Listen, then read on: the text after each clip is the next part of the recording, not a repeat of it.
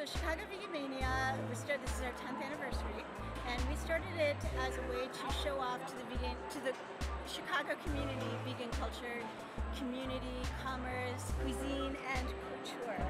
So um, we started 10 years ago, and uh, it's only grown since then. So it's it's all about inclusivity and being friendly and welcoming to people.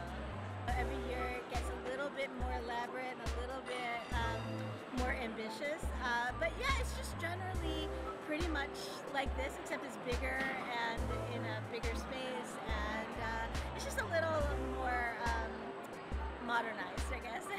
There's right around 100 vendors. Our food court, I think, is 22 to 24. I don't exactly remember. This year we actually have two food courts. We have like a main food court and a smaller one. Um, and then uh, there's lots of other people who are um, giving out food samples who are not part of the, the uh, food court. We want our event to not only feature the wonderful vendors and food and stuff like that, but also be an opportunity for people to get educated on certain topics and sample food from a live cooking demo. We try to, um, you know, uh, just pick a variety of people who speak on a variety of topics, but we also try to really emphasize